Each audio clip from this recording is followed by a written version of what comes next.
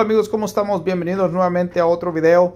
Hoy les queremos ah, hablar acerca del caso de Ripple contra la SEC. Ah, como no sé si está sabido, pero el 14 de este mes se iba a terminar el caso de descubrimiento de especialistas. Uh, eso básicamente lo extendieron hasta febrero 28, cual es pasadito de un mes.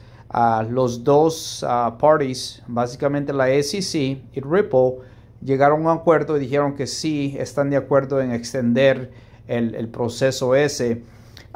y pues todos piensan que es, todo está planeado, todo esto que están haciendo es planeado, supuestamente lo están haciendo por, por el virus que está ahorita pasando obviamente, ah, pero como muchos dijeron, todos estos últimos meses, todos los... Ah, las citas de corte que han tenido, todo ha hecho, ha sido por medio de Zoom no han estado presentes, pero ah, el descubrimiento de personas especialistas en esta, en esta categoría supuestamente las, los están trayendo a la corte y todo lo están haciendo en vivo.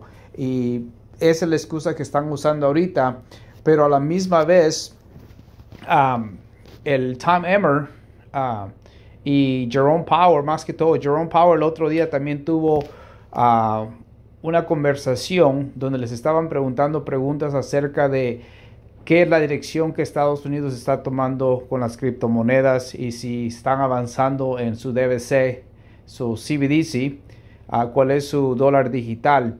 Y la respuesta que Jerome Powell dio ah, es básicamente que ya están en, pasos finales en terminar el papeleo ah, acerca del dólar digital y pues la coincidencia que el caso de Ripple se está extendiendo.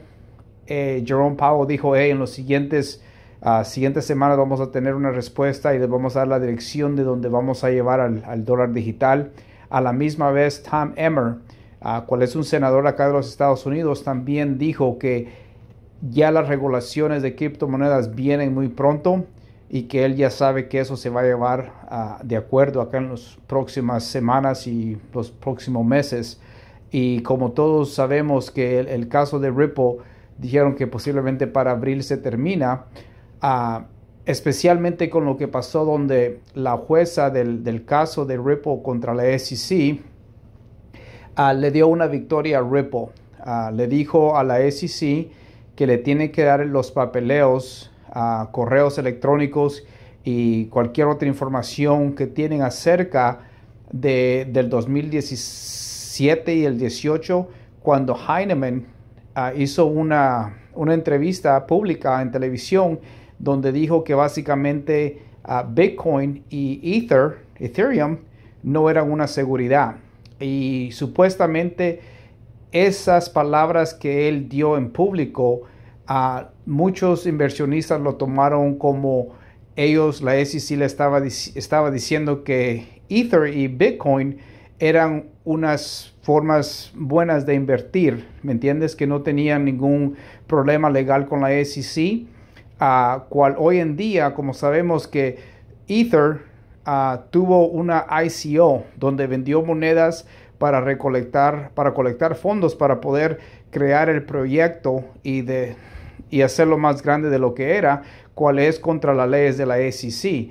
Es algo que Ripple está peleando con la SEC y hoy que la jueza, cuál fue ayer, ah, la jueza les dio acceso a ese papeleo y a esa información a Ripple, muchos piensan que esto va a forzar a, la SEC que negocien algo para poder terminar este caso más antes que, no se vaya a, básicamente a corte final, ¿me entiendes?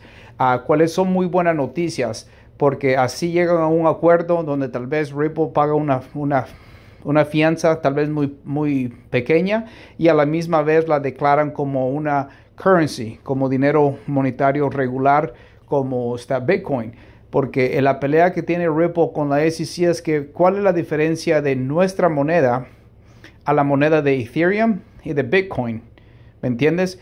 Y teniendo acceso a esos papeles, les va a dar más claridad y les va a dar más información acerca de la publicidad que le dieron a Ether, a Heinemann, cual fue el director de la SEC en el 2018 o el 17, donde le dio básicamente la, facilidad de, de, de Ether poder intercambiar y vender monedas al público como tú y yo.